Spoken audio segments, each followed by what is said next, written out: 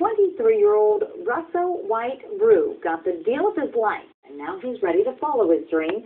Bay News 9's Ashley Jeffrey has the story. 23-year-old Russo White Roux Canaris isn't your average rapper. He can cook it up in the studio and in the kitchen.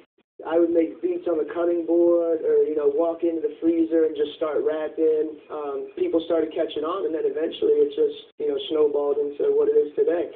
The trained chef has a culinary arts degree from the Orlando Culinary Academy. Was all set to take over the Homosassa family business, the restaurant Emily's, until he got his big break from rapper Eminem's label, I didn't, I didn't think it was possible. I knew that there was a chance, but like I said, I never knew exactly what what would come out of it. White Roux says he's excited to work on the same label as fellow up-and-coming rapper Yelawolf.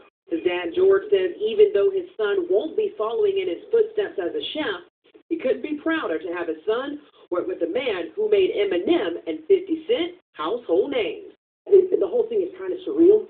I mean, having Riggs Morales call you on your telephone and, and tell you that, you know, he thinks your kid could be the next big thing is, uh, it's just amazing.